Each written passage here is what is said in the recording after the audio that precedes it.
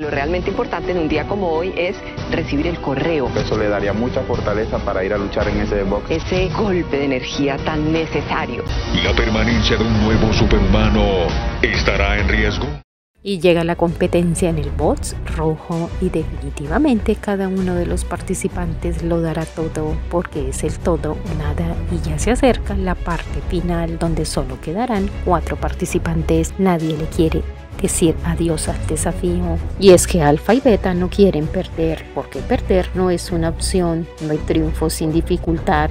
Y en este momento, en este ciclo, quien pierda tendrá una mujer sentenciada. Alfa va con todo, porque el objetivo es sacar a Rapelo. ¿Qué pasará con Alfa si Alfa consigue el triunfo? ¿A qué mujer de Beta le enviarán el chaleco?